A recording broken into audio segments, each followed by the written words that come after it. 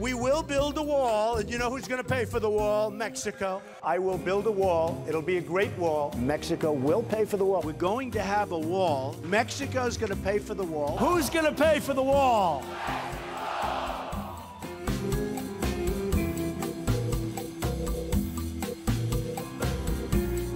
Mexican people, we are not going to pay any single cent for such a stupid wall.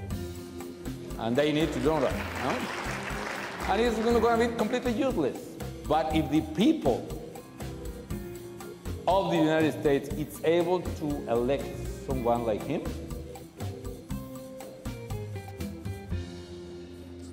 dot, dot, dot. Okay.